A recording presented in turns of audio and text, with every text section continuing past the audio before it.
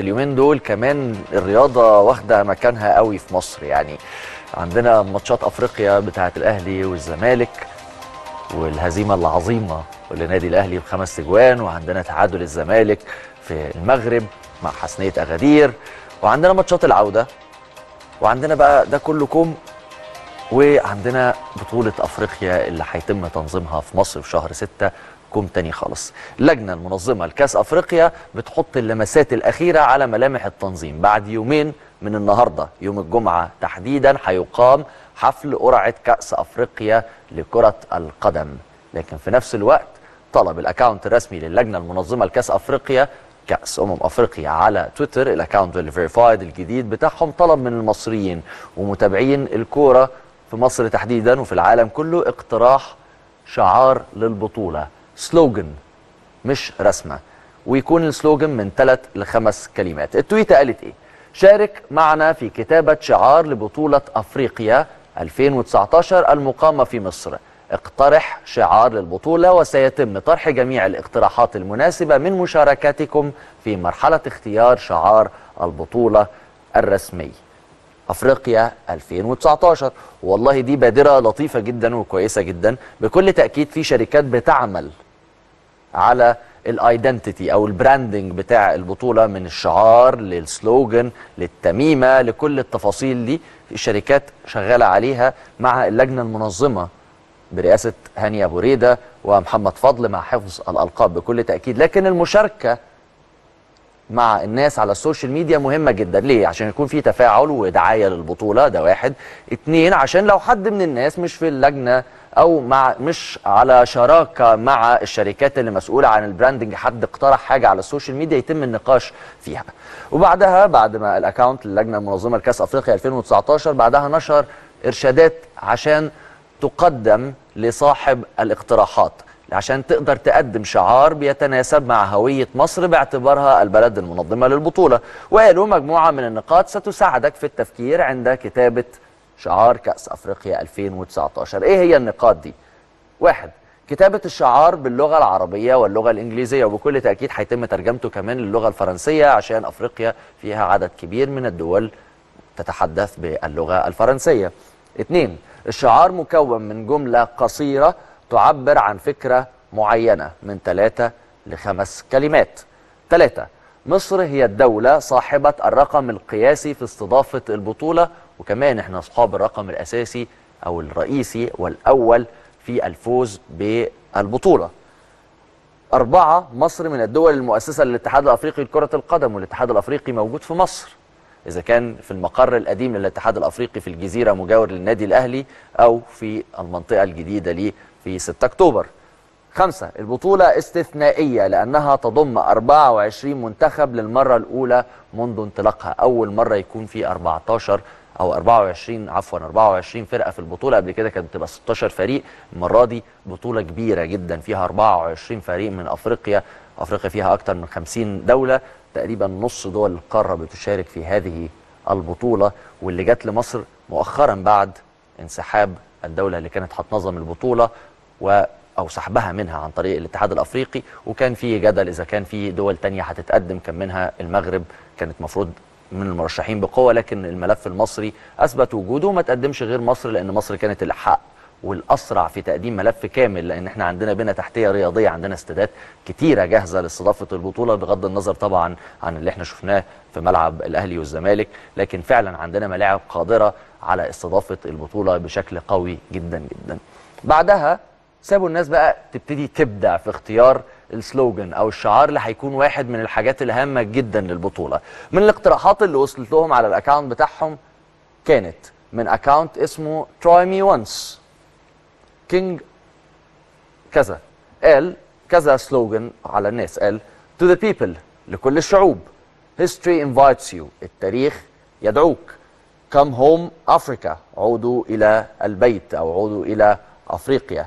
Welcome to Egypt feel at home مصر كأنك بالمنزل. كلها محاولات يعني amateurs مبتدئين. ناس مش بتعمل بده لكن طبعا كل الناس تشكر على مشاركتها.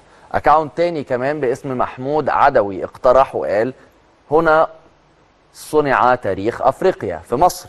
Here is the history of Africa. هنا تسجل أفريقيا التاريخ. Here Africa records history. هنا سجل تاريخ. أفريقيا. History records here أو المفروض is recorded here. ده slogans تانية اتبعتت ل اللجنة المنظمة. رجع كمان account Try Me Once هو جرب مرة تانية بقى مش once twice بشوية اقتراحات غير الأولانية. قال إيه Egypt where everything began. مصر حيث بدأ كل شيء. Here we were here we are. هذا هكذا كنا وها نحن الآن. Egypt where good vibes are. مصر حيث كل شعور جميل. Here we went here we back. هنا بدأنا وهنا نعود من ال slogans اللي راحت للجنة المنظمة. كمان account باسم مدحت نور قال افريقيا من جديد. كلها زي ما قلت لحضراتكم اقتراحات amateurs ناس بتحاول إنها تدلي بدلوها. في وسط الاقتراحات دي أكيد هتلاقي حاجات تلفت نظرك وأكيد هتلاقي حاجات ما تعجبكش أكيد هتلاقي حاجات تروح للجنة المنظمة تحطها في عين الحسبان. لكن المهم المشاركة لأن دي بطولتنا إحنا مصريين كلنا. 100 مليون مصري مسؤولين عن التنظيم مش اللجنة المنظمة. إحنا مسؤولين في الشارع لما تشوف حد جاي تقدر تساعده تساعده في ركوب المواصلات تقدر ت... ما يكونش فيه مضايقات للجمهور من الفرق الأخرى يكون في حسن استضافة. يعني من الآخر نكون المصريين اللي إحنا عارفينهم. نكون المصريين اللي بجد. كمان اكونت باسم محمد القاضي كان ليه اقتراح قاله Cup of Humanity on the Land of Civilization. كأس الإنسانية على أرض الحضارات. كمان account باسم ناجي اقترح شعار مختلف شوية وقال دائما من هنا على أرض البدايات. هاشتاج كان 2019 ده الشعار اللي اقترحه ناجي. اقتراح كمان من فادي بطرس account باسم فادي بطرس قال بطولة كبرى في حضرة الأبطال. ده slogan اتبعت كمان. كان في كمان اقتراح من account اسمه محمد إبراهيم. قال إيه محمد إبراهيم؟ يلا نلعب نكسب نحتفل. Let's play win and celebrate. وكان ده عمل هاشتاج للبطولة مصر 2019 وعمل attachment للتويتة بتاعت أفريقيا اللجنة المنظمة. كمان account باسم إسلام أشرف قال نحن أقوى معا. We're stronger together. أما account تاني باسم علي المصري فخرج شوية عن النص وما قالش اقتراح لشعار البطولة. هو قال تمنياته أو طلباته من اللجنة المنظمة. قال إيه بقى علي المصري؟ قال عايزين الشعار يعبر عننا بجد والتميمة تكون مختلفة تبين تاريخنا وكورة موحدة يتلعب بيها البطولة. شاركنا تنظيم البطولة وده الهاشتاج. وهنا نقف شوية وخلينا نشوف الثلاث نقاط دول من تحت لفوق. كرة موحدة يتلعب بيها البطولة. دايما البطولات الكبيرة بيكون في كرة موحدة من الشركة الراعية سواء كانت الشركة الفلانية أو الشركة العلانية أو الشركة الجديدة اللي اتفق معاها منتخب مصر على تيشيرتاته. بدون ما نذكر أسامي الثلاث شركات الكبرى اللي حضراتكم عارفينها. دايما بيكون في كرة محددة للبطولة. بيتحط عليها شعار البطولة بيتحط عليها التميمة بتاعة البطولة وبتتلعب بيها كل الماتشات. بيتم استخدامها في افتتاح البطولة لغاية الماتش النهائي وتكون موجودة بتتداول في الأسواق وعليها العلم الدولة المنظمة زي ما شفنا كور كتيرة موجودة في كأس العالم اللي فات في روسيا في بطولات أوروبا في ال Champions League كل سنة بيكون عندهم كورة جديدة. ده بالنسبة للكورة ونتمنى أن يكون ده حاصل. وما نجيش نقول أصل الوقت كان قصير وما لحقناش نتفق. أرجوكوا عشان ما يحصلش اللخبطة دي. التميمة تكون مختلفة وتبين تاريخنا. بكل تأكيد لازم تكون بتاع التميمة بتمثل الدولة المنظمة للبطولة. لازم كل دولة ليها التاريخ بتاعها ليها حضارتها ليها شكلها. أما بقى تكون مختلفة فدي نقطة مهمة جدا عشان إحنا بندور في فلك واحد وإحنا بننظم البطولات في اختيار التميمة. وقلنا ده قبل كده في أونلاين ولسه بنقوله وبنرجو اللجنة المنظمة إنها تاخد ده بعين الاعتبار. أرجوكم أرجوكم أرجوكم رجاء من كل المصريين. كفاية الفرعون المصري بالزي المصري اللي لابس الشبشب الفرعوني وبيشوط الكورة. التميمة دي اتعملت كذا مرة. أرجوكوا. كفاية. أرجوكوا أرجوكوا أرجوكوا. كفاية التميمة بتاعه تمساح النيل. اتعملت كذا مرة في بطولات هاندبول اتنظمت في مصر منها كأس العالم واتعملت في كأس عالم الشباب في مصر. إحنا دايما بنبص من يعني العين الصغيرة جدا جدا على الحضارة المصرية. مصر مش هي الفرعون بس ولا الحضارة الفرعونية هي الفرعون بس ولا تمساح النيل. عندنا أمثلة كتيرة ولا هي عين حورس بالمناسبة لأن دي أكتر حاجات إحنا بنستخدمها.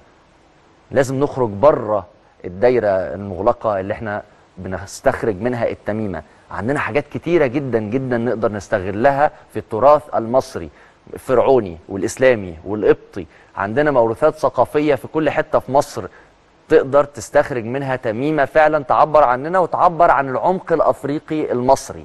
ودي نقطة مهمة جدا.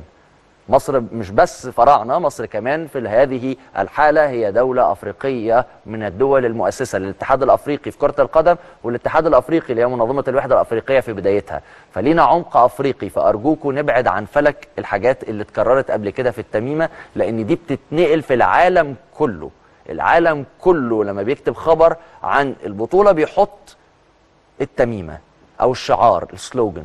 فارجوكم نختار حاجة تليق بمصر وبتهيألي هيتم الإعلان عنها قريب. إحنا منتظرين يوم الجمعة هيكون فيه القرعة وبالتأكيد هيكون في إعلان عن التميمة لأن الاتحاد الأفريقي أرسل للاتحاد المصري أو اللجنة المنظمة طلبهم بسرعة الإعلان عن التميمة. ودي نقطة مهمة.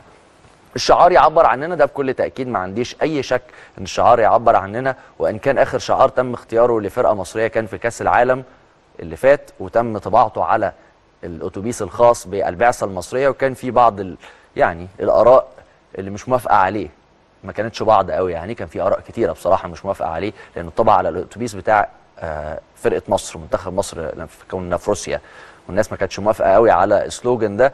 بس بادرة جيدة جدا جدا إن يطلب من الناس إنها تشارك في اختيار الشعار أو السلوجن. هننتظره وهنشوف الحاجات دي كلها بكل تأكيد هيتم إعلانها مع القرعة يوم الجمعة اللي جاية في سفح الأهرامات. وربنا يسهل ونكون موجودين في مجموعة كويسة تقدر تدي يعني زي ما بيتقال كده الدفع على المنتخب مصر إنه يوصل للدور الثاني مرتاح وتكون الماتشات متدرجة.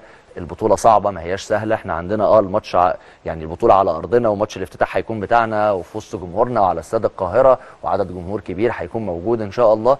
لكن البطولة السنة دي ما هياش سهلة خالص. في فرق كبيرة في أفريقيا تقيلة.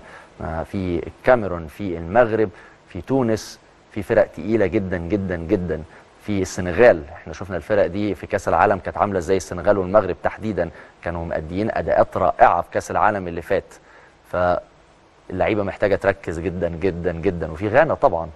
يعني البعبع الكروي الدائم وإن كان كعبنا إحنا عالي على غانا تحديدا كمان.